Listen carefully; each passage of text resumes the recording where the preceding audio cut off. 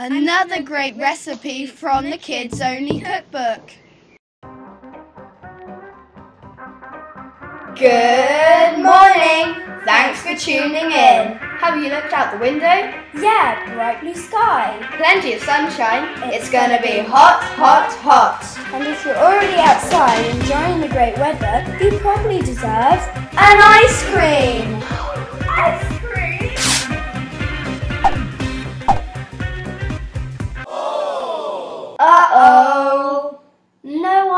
Cream left. Wanna know how to make some?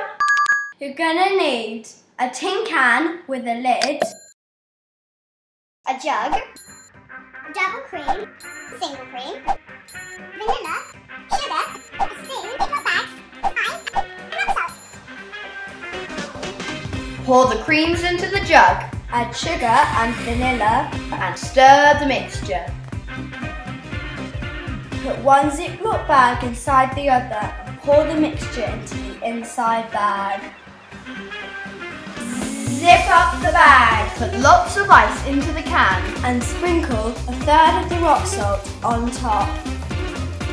Put the bag in the can. Add more ice around the bag and more salt. Cram more ice into the tin and add the rest of the salt. It's freezing! Now make sure the lid's on tight. Now for the awesome bit. Just roll the can around for 25 minutes any way you like, Roll it down a hill along a footpath. or kick it gently. Have fun!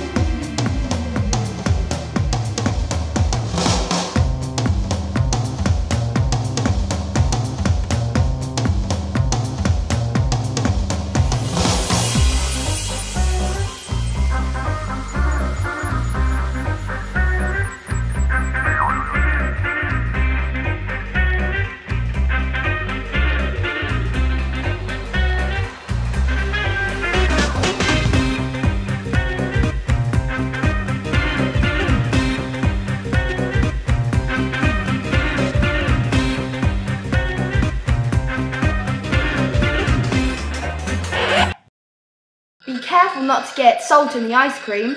It will taste disgusting. If it's not quite ready, squish the bag a bit, add more ice and salt, And keep rolling.